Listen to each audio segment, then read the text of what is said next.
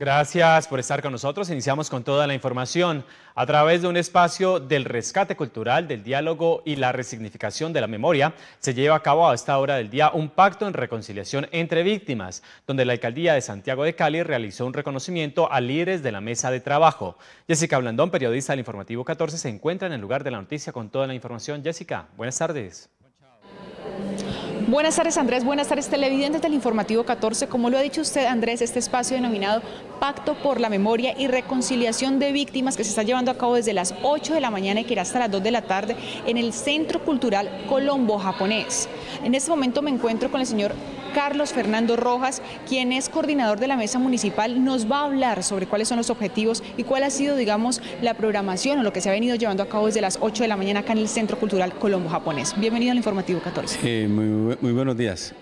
A ver, lo que pasa es que nosotros, eh, como víctimas del conflicto armado, eh, estamos haciendo una reconciliación con todos los líderes, ya que si nosotros fuimos capaces de perdonar a nuestros verdugos, a aquellos que con un fusil nos asesinaron nuestras familias, y hoy les decimos que los perdonamos, pues nosotros también como víctimas del conflicto armado, todos los líderes de Santiago de Cali, estamos haciendo la reflexión, nos estamos dando la mano. Nosotros somos 8 millones 8 millones 500 mil víctimas del conflicto armado donde los líderes y lideresas estamos hablando un mismo idioma y queremos darnos esa reconciliación, abrazarnos y decirnos pues, de que si nosotros somos defensores de derechos humanos y que queremos que a nivel nacional hagamos lo mismo, que todos los líderes y lideresas hablemos un mismo idioma por el pro de las víctimas del conflicto armado de Santiago de Cali.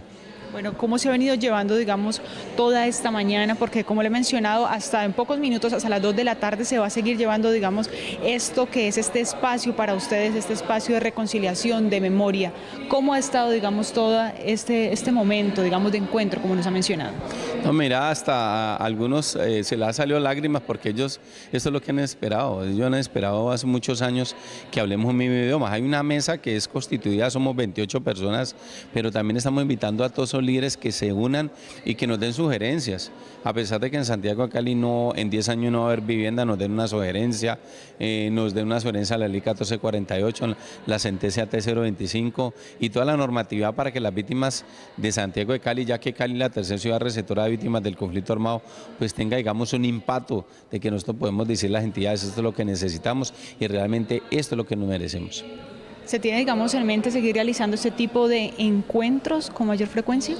Claro, ahorita vamos a hacer unos, unos talleres donde nos vamos a reunir, donde han sido líderes que pasaron por esta mesa y también fueron elegidos y que algunos están olvidados, pero tienen, digamos, eh, unas unas propuestas muy, muy, muy finas, muy claras para eh, entregárselas al ESNARIN, que el ESNARIN es todas las entidades que tienen que ver con las víctimas del conflicto armado.